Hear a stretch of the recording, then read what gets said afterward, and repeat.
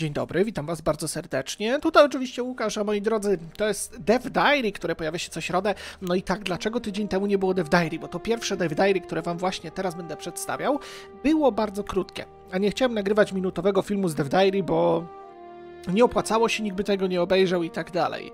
E, przejdźmy do konkretu. Oczywiście drugie Dev Diary, które wyszło dzisiaj, będzie dalej w tym filmie, więc polecam oglądać materiał cały, bo dosyć dużo się zmienia i flota zostaje całkowicie zrewolucjonizowana. No to tak, w pierwszej części Dev Diary, w tym Dev Diary, co było tydzień temu, szczerze nie ma tu się nad czym za bardzo rozgadywać. Większość była poświęcona modowaniu i tak dalej. Tutaj są kody, skrypty podane itp. itd., prawda?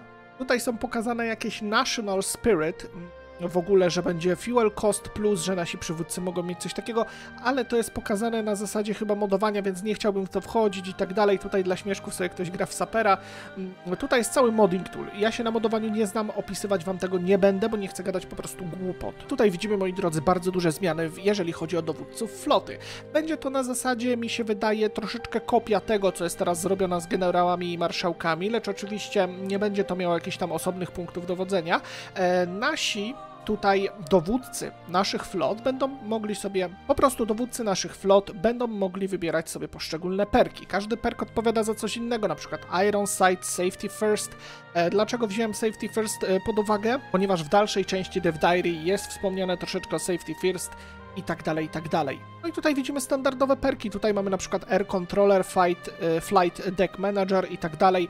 Mm, to mi się wydaje, że będzie bardziej do dowódcy mm, grupy lotniskowców pasować. Tutaj mamy Iron Sight, czyli tu, tu, tu, tutaj Safety Pierce na przykład e, bardziej bezpieczne, bardziej tutaj będziemy stawiali na bezpieczeństwo tych flot, e, mniejszy damage i tak dalej. I tu mamy różnego rodzaju taktyki. Taktyki nie są jakieś trudne do przeczytania. Blockade Runner, Minesweeper, Spotter, Main Layer, czyli tutaj będzie odnośnie kładzenia min. Tutaj z drugiej strony mamy Lonely Wolf, czyli mm, samotny wilk, czyli wydaje mi się, że to może bardzo dobrze wpływać na dowódców marynarki. Oczywiście chodzi mi tutaj o podwodne okręty, prawda? E, że to może być idealny perk dla nich.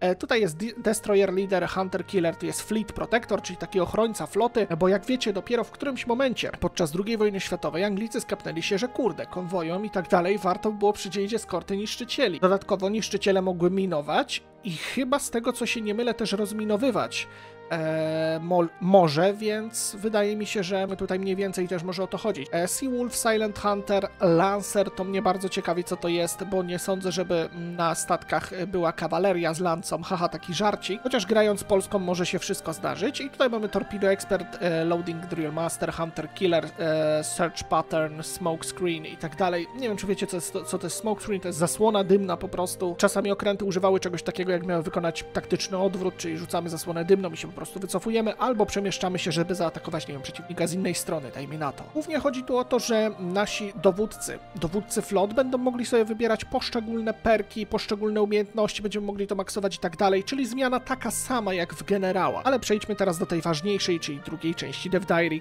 które pojawiło się dzisiaj. No i moi drodzy, mamy drugą część Dev Diary, tutaj dowiadujemy się już, że nie będzie możliwości spamowania flotą.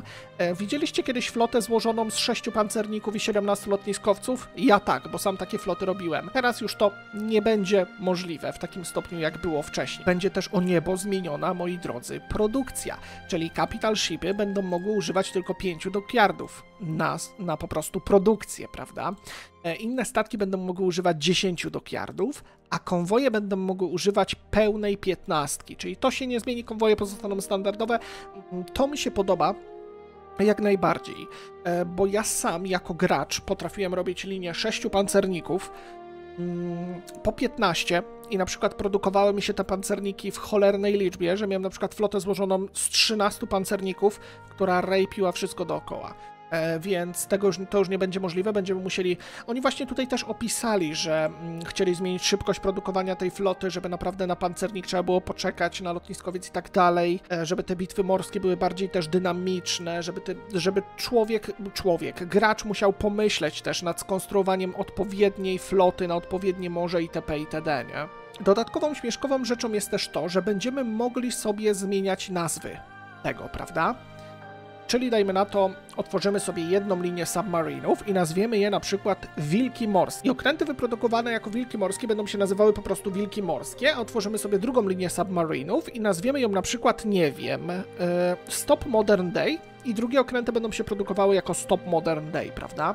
To taki mały smaczek y, może dodać troszeczkę historyczności, będziemy mogli nazywać, na przykład, nazywać, przepraszam, nasze ulubione pancerniki, nasze ulubione lotniskowce i tak dalej e, po jakichś imieniach sławnych ludzi. No, tych, których zapisali się po prostu na kartach historii, nie? To byłoby warto, fajnie dodaje takiej imersji. Dodatkowo ja sobie tutaj przybliżyłem ekran, widzimy też nowe opcje co to oznacza.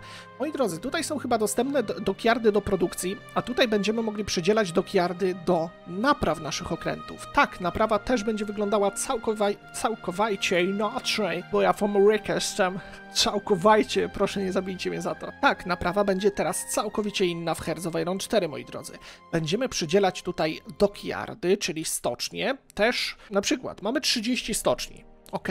25, 25 stoczni używamy na produkcję okrętów, a 5 stoczni używamy na naprawę tych okrętów. Rozumiecie? Coś na takiej zasadzie. Na przykład w stanie wojny, mając 30 mm, stoczni, będziemy mogli 20 stoczni sfokusować na produkcję okrętów, a 10 stoczni sfokusować tylko i wyłącznie na naprawę. Wydaje mi się, że to jest bardzo dobra opcja i to jest bardzo duża zmiana na plus, jak najbardziej. Tutaj mamy bardziej też to pokazane, czyli ten cały po prostu ship repair, że on się drastycznie zmieni i tak dalej. Teraz aktualnie, jeżeli naprawiamy swój statek, no to po prostu potrzebujemy troszeczkę czasu, wiecie o co chodzi, e, że nie jest to jakoś bardziej skomplikowane po prostu ustawiamy na wycofanie się tych flot i tak dalej, i tak dalej. Naprawa statków będzie też zależała od poziomu portu i bazy, jaki mamy, czyli na przykład baza mieszcząca w, sobie 10.0 będzie na przykład dwa pancerniki naprawiać bardzo długo, a baza, która jest rozbudowana na maksa, będzie je robić zdecydowanie szybciej. Czyli dajmy na to, mamy tutaj, mamy tutaj nawet napisane, jeżeli mamy piąty level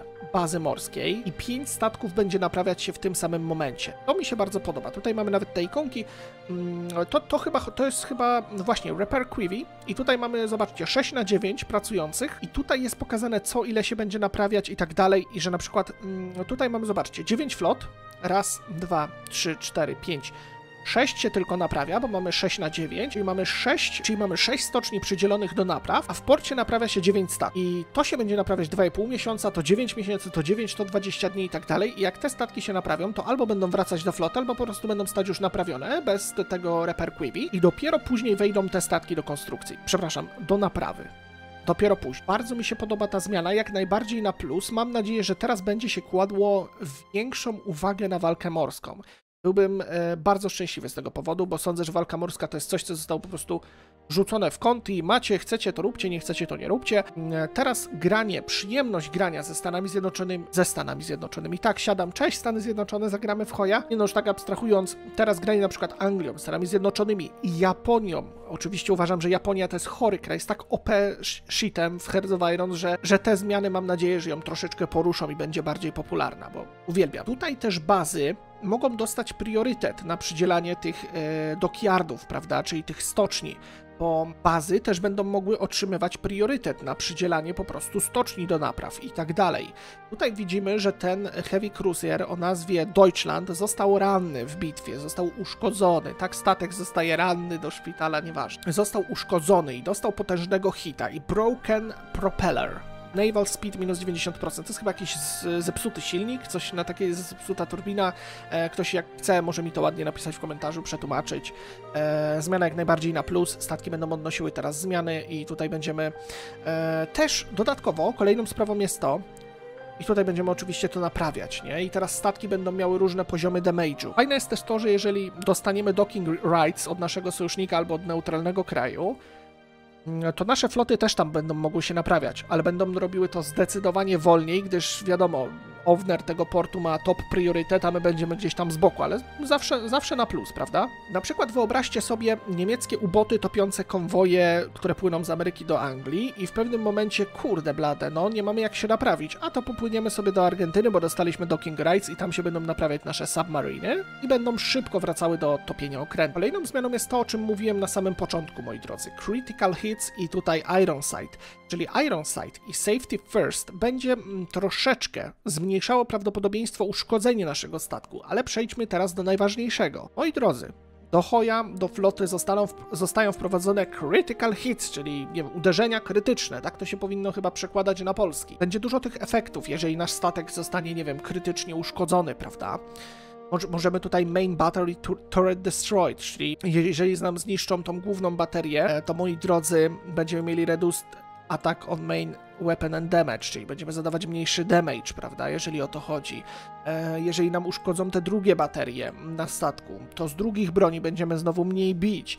Jeżeli właśnie ten broken propeller, to będzie lower speed, kompletnie nie wiem co to znaczy, ale niszczona turbina, czy coś takiego, tak wnioskuję, możecie mi w komach napisać. Rather jammed, reduced ability to disengage, czyli nasze statki nie będą, bo nie wiem czy wiecie, wchodzisz coś takiego jak engage, disengage, wiecie o co chodzi.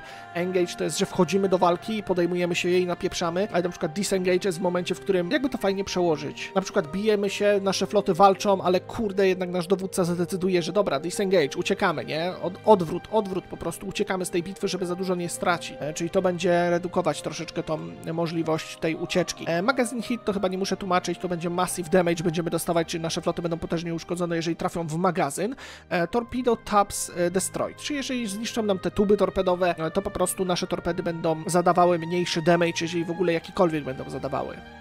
Heavy Fires, no to oczywiście tracimy organizację i damage, czyli organizację obrażenia. Heavy Fires, no to są te pożary, prawda? Jeżeli statek zacznie płonąć, no to tracimy organizację i zadawany damage. Jeżeli zniszczą nam radar, no to oczywiście Reduce Detection, wiecie o co chodzi. To mnie bardzo ciekawi. Ballast Tank Inoperable, chyba tak to się wymawia.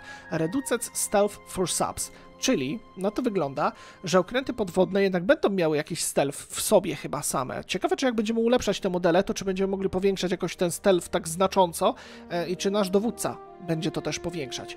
To mi się wydaje jak najbardziej, moi drodzy, za fajną zmianę. E, naprawdę propsuje, bo naprawa statków Teraz hoj polega na tym, że jedyne czym się musisz zająć, stary, to armią lądową i w 10% lotnictwem, prawda? A teraz będziemy musieli też dbać o flotę. Bardzo mi się to podoba. Ja oczywiście Wam dziękuję za uwagę, byłem Łukasz Kałach, linki do tych Dev Diary oczywiście znajdziecie w opisie, jakbyście chcieli sami przeczytać, sami zobaczyć screeny i tak dalej, i tak dalej. Ja się z Wami oczywiście żegnam i zapraszam Was na kolejne materiały już jutro, czyli w czwartek. Heja!